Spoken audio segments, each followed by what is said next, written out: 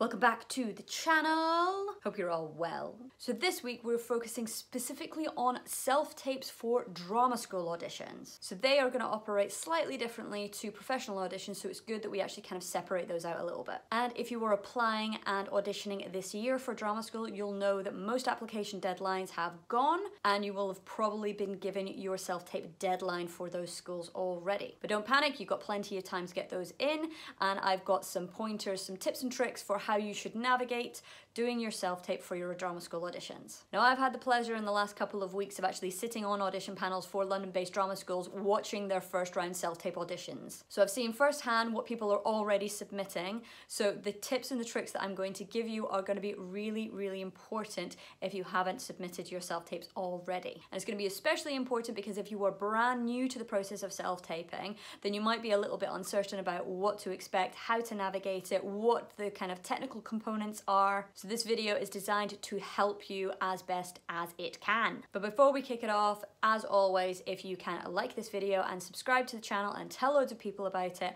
that would be very much appreciated. Okay, so here we go. These are my six top tips for drama school self-tape auditions. So the first thing that you're gonna wanna do is read the instructions. So once you submit your application to the drama schools, you will get an email in return with a set of instructions and a self-tape deadline. If you've applied directly to the school, then you should be getting that email either instantaneously or within the next couple of hours. Just be aware that if you're applying through UCAS, then that process could take slightly longer. It could be something like two to three days. That's just because UCAS basically operates as a third party. It kind of goes you through UCAS to get to the drama schools, back to UCAS, and then back to you. So the process takes a little while. So don't worry if you haven't got those emails through just yet. So no two self-tapes are ever the same. And for each drama school that you apply for, there will be a slightly different process that goes along with it. So it's really, really important that you read the instructions that are given to you by the school so that you're actually fulfilling the brief and actually giving them what they're expecting, what they're wanting from you.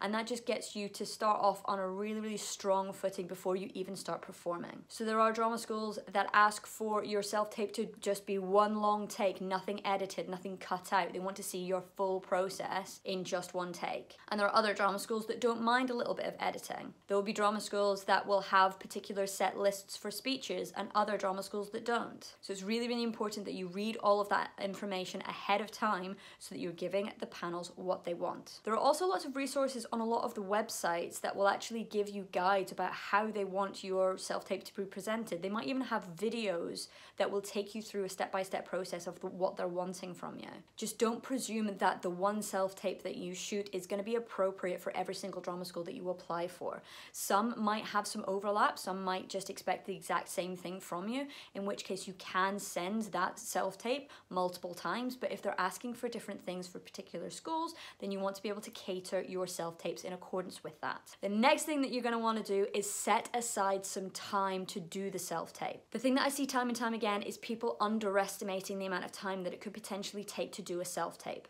especially if you're in the early stages of actually doing this as a process, it's going to take you a little bit longer before you get up to speed and make it a kind of comfortable, go to, solid process that won't take that long. You're going to want to consider the fact that you need to find, prepare, and learn your speeches, the actual process of setting up the equipment and making sure that your lighting is good. Then there's actually shooting, so executing all of those takes. Then you're going to want to review all of your takes, all of your footage to make sure that you look good, you sound good, and everything's ticking along Then you're going to put all of that footage into a piece of editing software so that you can clip out all of the stuff that you don't want, compile it into one take, upload it and transfer it across to the drama school. And all of that takes time. So either set aside a big bulk of time to actually be able to execute it from beginning to end in one go, or allocate particular days to particular tasks. So maybe on the Monday you're preparing and getting your speeches off book. Maybe on the Tuesday you're setting up your equipment and shooting it. Maybe on the Wednesday you're reviewing your footage, transferring it across to the editing software and editing it.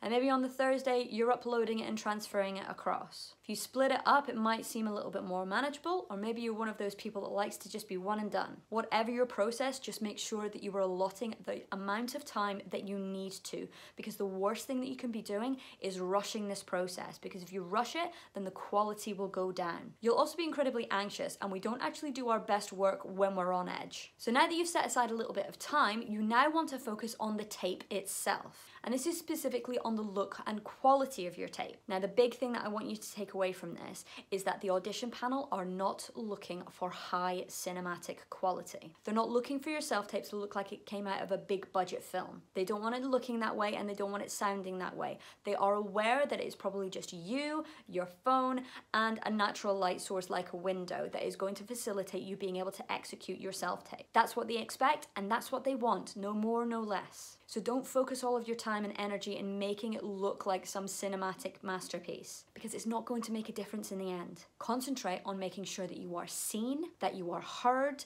and that you are understood. So if you are seen, that basically means that you are lit evenly. We can see your face and that you're not in patches of shadow.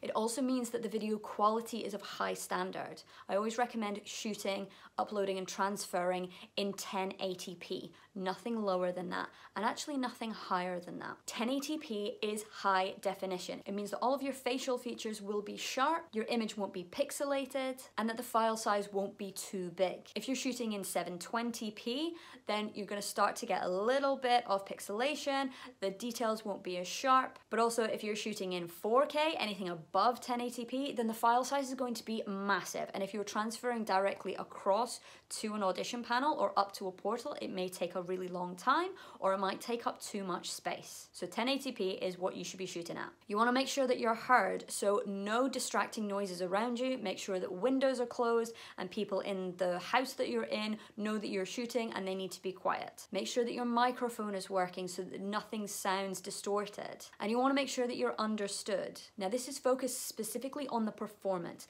making sure that you're making sense of the text and of the language, that you're actually playing something in the moment and you understand what is going on in the character's mind and you're portraying that and getting that across to the audition panel. Now that you've got all of the technical components in place, you're gonna start wanting to shoot some takes.